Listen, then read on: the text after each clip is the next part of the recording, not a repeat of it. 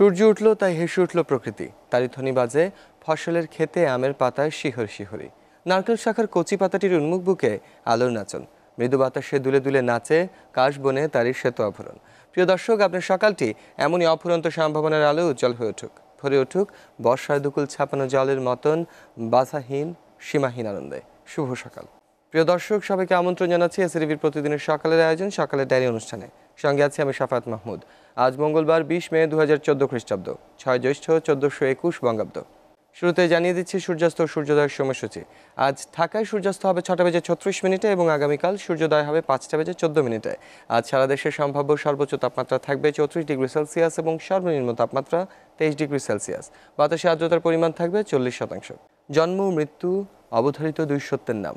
জন্ম যদি শুরু হয়, তবে মৃত্যু স্বভাবতই শেষ।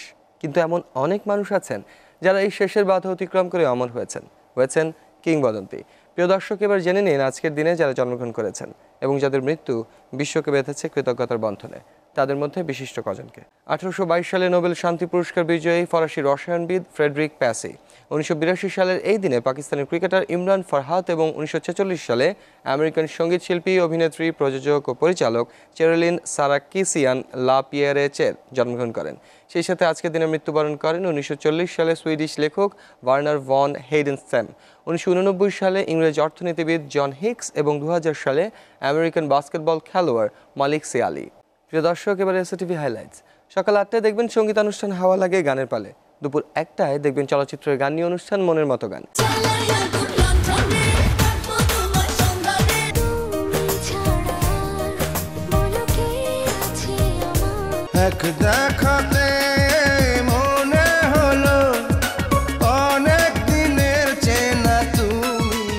বিকেল চারটায় দেখবেন চিকিৎসা বিষয়ক সরাসরি অনুষ্ঠান ডিপিআরসি অ্যাডভান্সড পেইন ট্রিটমেন্ট প্রতিদিনের শান্ত আয়োজন বেলা শেষে দেখবেন বিকেল পাঁচটা বেজে ত্রিশ মিনিটে। শুরু করছি আমাদের সান্ধ্যকালীন আয়োজন বেলা শেষে।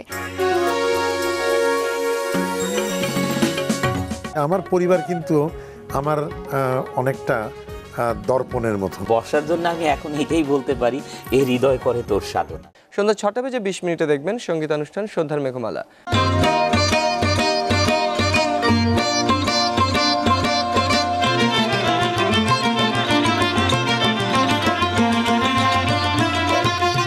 খেলার খবরের খবর নিয়ে অনুষ্ঠান। মাঠে ময়দানে রয়েছে সন্ধ্যা সাতটা বেজে পঁয়ত্রিশ মিনিটে।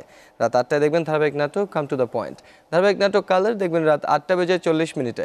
রাত নটা বেজে বিশ মিনিটে দেখবেন musical programme tune and count musical programme inside tune দেখবেন রাত এগারোটায়। এসএডিবি সংবাদ দেখুন সকাল সাতটায়, দুপুর একটা বেজে ত্রিশ মিনিটে ও সন্ধ্যা সাতটায়। এছাড়া রাত দশটা রয়েছে ফ্ল্যাগশিপ নিউজ আওয়ার এবং রাত এগারোটা বেজে ত্রিশ মিনিটে দেখবেন লেট এডিশন দর্শক, পরিপূর্ণ বিনোদন ও বস্তুনিষ্ঠ সংবাদ পেতে এসএটিভির সাথে থাকুন।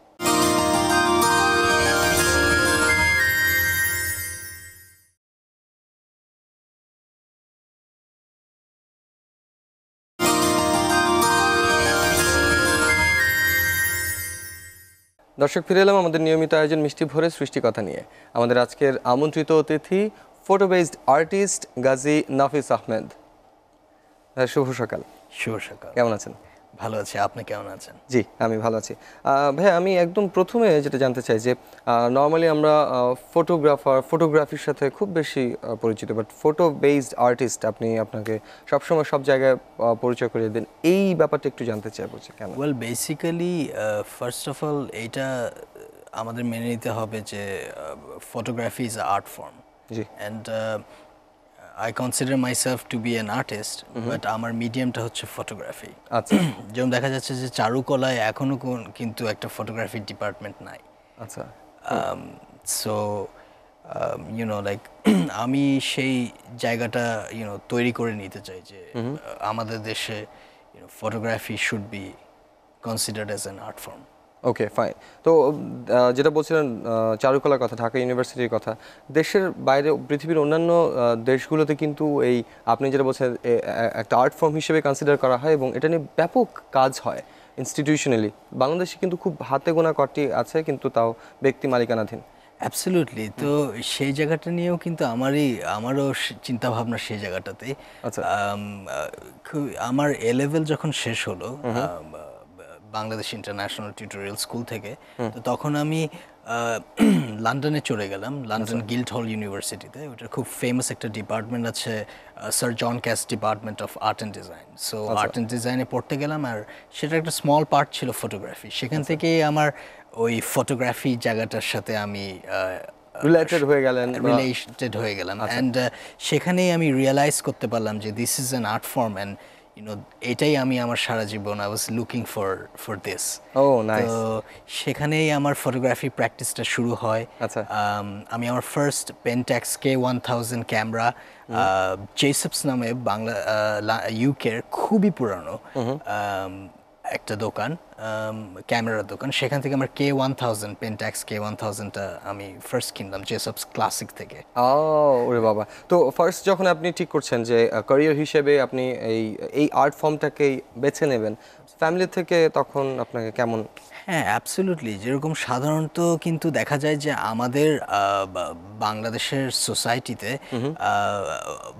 প্যারেন্টসদের ফ্যামিলির একটা এক্সপেকটেশনস অনেক থাকে তাদের চিলড্রেনদের কাছ থেকে নিউ জেনারেশনের কাছ থেকে। তারা এক্সপেক্ট করে যে আমরা হয়তো বা ডক্টর হব ইঞ্জিনিয়ার হব মেইন স্ট্রিম বা হচ্ছে অ্যাকাউন্টেন্ট হব চার্টার্ড অ্যাকাউন্টেন্ট ইউনো এই মেজর মেইন স্ট্রিম যে ইয়েগুলা। তো ফটোগ্রাফি যখন করতে যায় তখন সাধারণত দেখা যায় যে বাপ মাও যদি মেনে নেয় দেখা যায় যে দূরের আত্মীয় স্বজন ব্রডার ফ্যামিলির মেম্বাররা বলে যে তুমি কি করতেছো? তো যখন বলি যে আমি ফটোগ্রাফি করছি। আচ্ছা বুঝলাম তুমি ফটোগ্রাফি করছ কিন্তু করোটা কি? মানে এরকম একটা প্রশ্ন করে। আচ্ছা এটা ওটা তো পাশের কাজ মানে এটা তোমার শখ। অ্যাবসলিউটলি হ্যাঁ অ্যাবসলিউটলি মানে হাউ মানে তার মানে কি তুমি মানে কোশ্চেনটা এমন ভাবে করে মানে বোঝানো। চেষ্টা যে কি মানে বেকার ছেলে নাকি একটা?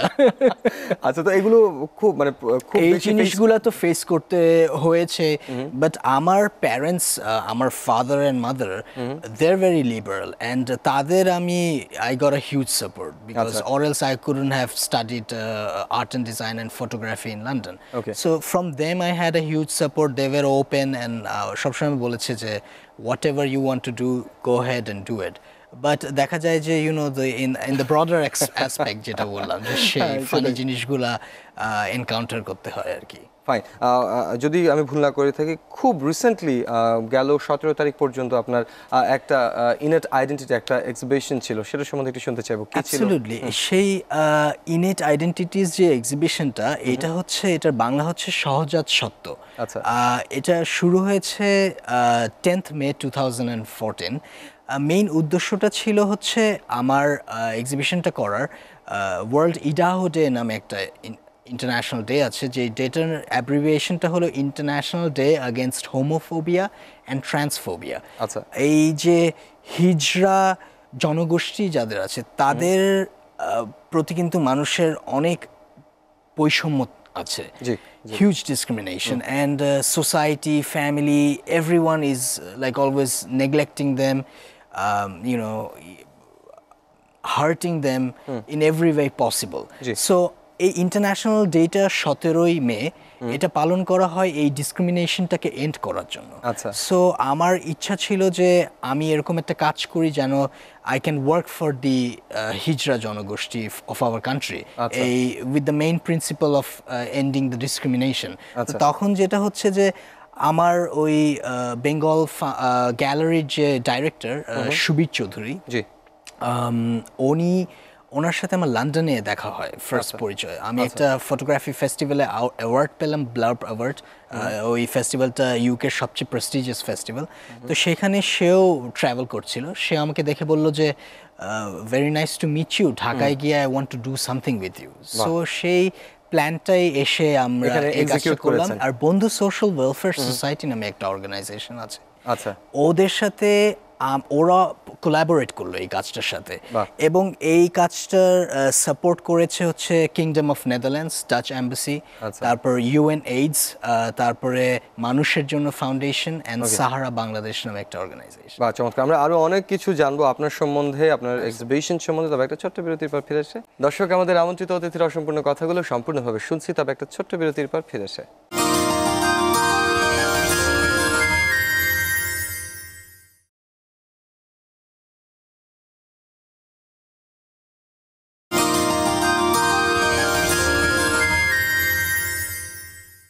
ফিরে এলাম বিরতির পর আমাদের নিয়মিত আয়োজন মিষ্টি ভরে সৃষ্টি কথা নিয়ে আমাদের আজকের আমন্ত্রিত অতিথি photo based artist Gazi Nafis Ahmed. আচ্ছা ভাই আমরা এবার আপনার একটু ছোটবেলার কথা শুনে ফেলি। সেটা হচ্ছে যে ছোটবেলা থেকে হয় না যে আমরা ছোটবেলা থেকে কিছু বলি যে আমরা বড় হয়ে এটা হব এটা হব এই জায়গায় যাব? ইচ্ছে ছিল কি? অ্যাবসলিউটলি ওয়েল আমার তো ফার্স্ট অফ অল আমার ইচ্ছে ছিল সুপারম্যান হব সুপারম্যান হ্যাঁ। তো যেটা হচ্ছে যে আমি আচ্ছা। যখন প্রায় সময় কার্টুন দেখতাম মনে হতো যে আমি সুপারম্যান হব আচ্ছা। আহ, no after a while but ফটোগ্রাফির প্রতি কিন্তু ছোটবেলা থেকেই আগ্রহ ছিল। যে দেখা যেত যে ছোটবেলায় ফ্যামিলি ক্যামেরা যেটা সেটা নিয়ে আমি আমার আম্মার ছবি তুলছি। আচ্ছা। ফ্যামিলির একটা বার্থডে পার্টি হলো সেখানে আমি ক্লিক করে ছবি তুলছি। এবং যখন ফিল্মটা ডেভেলপ করে আনা হতো প্রিন্ট করে তখন বাপ মা বোন সবাই বলতো বাহ খুব সুন্দর তো হয়েছে ছবিগুলা। তো আম, সেই ইয়াটা কিন্তু খুব পিছন থেকেই ফটোগ্রাফির প্রতি আমার ভালোবাসাটা। তারপর দেখা যেত বা- বাসায় বিদেশি ইংরেজি ম্যাগাজিনগুলো রাখতো সেখানে খুব সুন্দর সুন্দর পোর্ট্রেট তোলা হতো কমার্শিয়াল কাজ।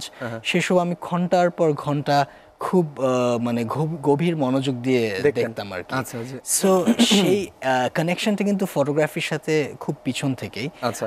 আর তাছাড়াও ইউনো অ্যাট সেভারাল স্টেজ বড় হওয়ার সময় একবার তো বললাম সুপারম্যান হওয়ার ইচ্ছে ছিল তারপরে I wanted to be fashion designer Okay. তারপরে ডিজে হতে চেয়েছিলাম মানে this were like different phrases of life মানে সময়ের পরিবর্তনের সাথে সাথে অনেক changes বাট এসছে। ওই ওইসব কিন্তু টিনেজ ইয়ার্সগুলোর কথা আচ্ছা, বলছি আচ্ছা। But you know when I completed my O level and then A level তখন you know I knew I was you know going to be uh, an artist Okay, fine. N- no matter what uh, form that is আচ্ছা আমরা এবার যদি এভাবে জানতে চাই যে কাজ করছেন এক্সিবিশন করছেন অনেক ব্যস্ততায় কাটছে। এর মাঝেও নিশ্চয়ই আপনি কিছু মানুষের সাথে সবসময় তো যোগাযোগ থাকে যে কাজের ক্ষেত্রে যদি আমি জিজ্ঞেস করি জানতে চাই যে আপনিও ইন্টারেস্টেড থাকেন যে আমি এই কাজটা করেছি দেখো তো কেমন হয়েছে। তো কার কথা বলবেন যে আপনার বেস্ট ক্রিটিক আমি বলব রাজীব সামদানি। উনি হচ্ছে he is the founder of Samdani art foundation. আর উনি also the chairman of Golden Harvest group he is he takes he and his wife Nadia Samdani as well. আচ্ছা। they take a huge interest uh, in the art. আচ্ছা specially of our country and South Asian region as well so যেটা হচ্ছে যে তারা কিন্তু মানে যেইভাবে এই ঢাকা আর্ট সামিট করে আমার মতো ইয়াং একটা ফটোগ্রাফারকে ইউনো প্ল্যাটফর্ম তৈরি করে দিয়েছে আমার মতো একটা আর্টিস্টের so it's huge and you know আমি যেটা করি আমি কাজ করে I try my best. They're very busy people, but I try my best to show them the work and uh, get get back the feedback. You know, যেটা সাধারণত হয় দেখা যায় যে অন্য একটা ফটোগ্রাফারের কাছে যদি যায় মানে হয়তো বা অনেক সময় দেখা যায় যে প্রফেশনাল কারণে তারা খুব একটা ইনসিকিউরিটির মধ্যে থাকে। আর মনে করে যে ইউ নো লাইক ওই ইনসিকিউরিটির কাজের জন্য you don't really get something honest in return so you know it's very important for all the young generation photographers or artists whoever they are uh, i mean whatever form they're working with um, it's very important uh, for them to find a, a, a person যেটা আপনি বললেন who you can really trust and তার সাথে সেই জায়গাটা নিয়ে আলোচনা করা অনেস্ট একটা ওপিনিয়ন আপনি পাবেন Absolutely, সেই কারণের আচ্ছা ফাইন আমি যদিও ফটোগ্রাফি নিয়ে খুব একটা জানি না তারপরেও হ্যাঁ, যদি যতদূর অল্প জানি আর কি ফটোগ্রাফিরও তো অনেকগুলো ফর্ম আছে যে বিভিন্ন ফর্ম আছে কোন ধরনের ফটোগ্রাফি করতে বা কোন ফর্মে কাজ করতে আপনার বেশি Well, বোধ করেন? basically, photography itself is an art form, but আছে. আচ্ছা। Uh, uh, there is photojournalism, there's documentary photography, আচ্ছা। and then অনেকে আবার photograph আর্ট ফটোগ্রাফি হিসেবে একটা ভাগ করে ফেলায় আচ্ছা। পুরো একটা different part so fashion photography আছে কমার্শিয়াল ফটোগ্রাফি আছে পোর্ট্রেট ফটোগ্রাফি আছে আচ্ছা। নেচার ফটোগ্রাফি আছে various uh, parts of photography but uh, uh, you know i see everything i mean photography itself as an art form যেটা বললাম and uh, I, I consider myself as an artist working with the medium photography so আমার কাছে know i আমার যেটা ফটোগ্রাফির যেই জায়গাটা সবচেয়ে মজা লাগে যে এইটা একটা মানে একটা ইন্ডিভিজুয়াল হিউম্যান বিইংকে টোটালি একটা ফ্রিডম দেয় তার নিজের মতন করে এই পৃথিবীটাকে দেখার জন্য। আচ্ছা। You can through photography you can totally escape into your own world and see the whole world in your own way যেখানে বাধা দেওয়ার জন্য কেউ নাই। কেউ নাই হ্যাঁ। আচ্ছা তো একদম শেষের দিকে আমরা আছি তো কিছু জিনিস না জানলেই না সেটা হচ্ছে যে হয় না প্রত্যেকটা আর্টিস্টের কিছু পার্সন থাকে যে তাদেরকে হয়তো আইডল মানছেন বা তাদের কাজ আপনাকে কোনো না কোনো ভাবে সামহাউ আপনার কাজে আপনাকে হয়তো প্রভাবিত করছে। তো কার কথা বলবেন আজকে? Well I am a huge fan of Monzur Alam Beg. ওনাকে বাংলাদেশে কনসিডার করা হয় আলোক চিত্রাচার্য অ্যান্ড উনি বাংলাদেশের ফার্স্ট ফটোগ্রাফি স্কুল করেছে এবং বাংলাদেশ ফটোগ্রাফিক সোসাইটি যেটা। সেটা উনি ফাউন্ড করেছে আচ্ছা। অ্যান্ড ওনার uh, যে ফটোগ্রাফি স্কুলটা সেটার নাম হচ্ছে Begart institute so that was the first school I never have met him in in in my life you know.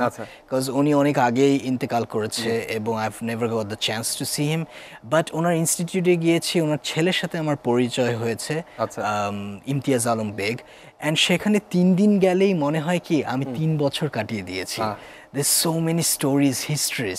যেই যেই ফটোগ্রাফির হিস্ট্রিগুলো আজকাল কেউ আলোচনা করতে চায় না আচ্ছা। সেই ইনসিকিউরিটি জায়গাটার থেকে মনে করে যে সেই হিস্ট্রিগুলো জেনে ফেললে যেন কি একটা ঘটে যাবে। হ্যাঁ হয়তো নিজেরই হয়তো অসুবিধা হয়ে যাবে অনেকে হয়তো ভাবছে। কিন্তু এই জায়গাটা নিয়ে আমরা এই জায়গাগুলো ভুল ভাবি। হয়তো এই হিস্ট্রিগুলো আসলেই না নিজেদের মাঝেও কাজের স্পিডটা বেড়ে যায়। অ্যাবসলিউটলি সেটাই তো বুঝতে। চাচ্ছে না তারা আচ্ছা। এবং করতেও চাচ্ছে না। সো আমার খুব ইচ্ছা যে এই জায়গাটা নিয়েও অনেক কাজ করা। আমাদের বাংলাদেশের photography history is very rich and you know there should be know more and more younger generations who should know about it wow আপনার জন্য আপনার ইচ্ছের জন্য অনেক অনেক প্রার্থনা শুভকামনা থাকল। Thank you thank you very much much. এত সকালে আমাদের অনুষ্ঠানে আসলেন আপনার সবকিছু নিয়ে আমাদের সাথে একটু একটু করে শেয়ার করলেন। অ্যান্ড শেষ বেলায় আপনার পাশাপাশি আপনার বাবা মায়ের প্রতি অনেক অনেক কৃতজ্ঞতা আমরা প্রকাশ করছি। Thank you very much thank you very much for having me here দর্শক, এ আমাদের আজকের আমন্ত্রিত অতিথির সঙ্গে মিষ্টি ভরে সৃষ্টিশীল কিছু কথোপকথন। কাল নিশ্চয় কথা বন্য কারোর সাথে। একই সময় ভালো থাকবেন।